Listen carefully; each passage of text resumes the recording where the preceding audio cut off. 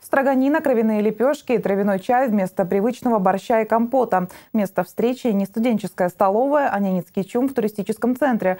Сегодня студенты Ненецкого профессионального училища учились готовить традиционные ненецкие блюда. Мастер-класс стал началом кулинарного путешествия, которое ребятам предстоит совершить в течение года. В кулинарный маршрут отправилась и наша съемочная группа.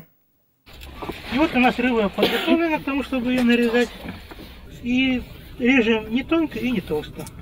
Александр Литков, сотрудник этнокультурного центра, рассказывает студентам, как приготовить любимый деликатес жителей севера – строганину. Запах свежей рыбы и потрескивание печки-буржуйки создает в чуме особую атмосферу ненецкого быта. Ребята слушают внимательно, они будущие повара. И лишний ценный рецепт в копилке кулинаров не помешает. Ведь помимо нежного вкуса, традиционно ненецкое блюдо содержит полезные жирные кислоты и просто готовится. Первой пробует холодную стружку из сига Сабрина Панькова. Конькова. Я пробую строганину. Давай, пробуй. Вкусно? Да. А дома готовила когда-нибудь строганину? Готовила. Чистый из белой рыбы.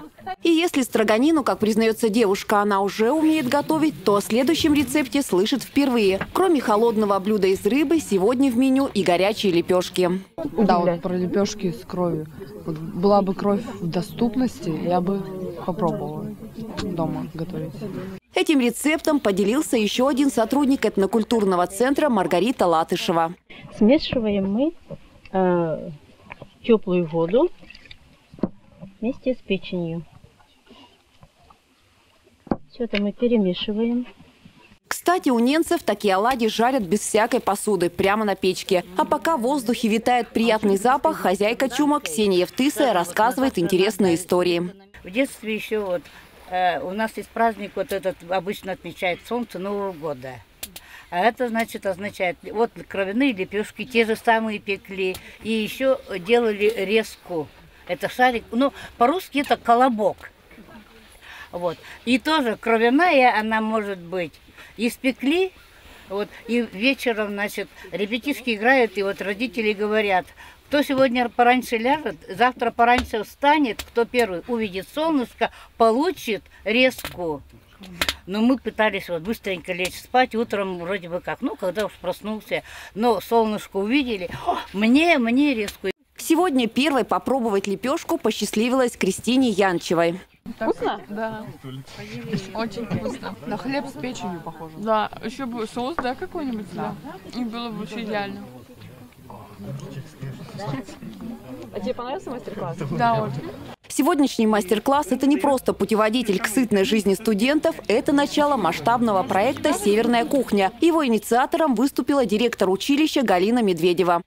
Мы живем в многонациональном округе, где у нас проживают очень дружно немцы, коми, русские. Мы даже бы, наверное, больше сказали русскоязычное население – да, потому что огромное количество наций, народностей, которые здесь проживают.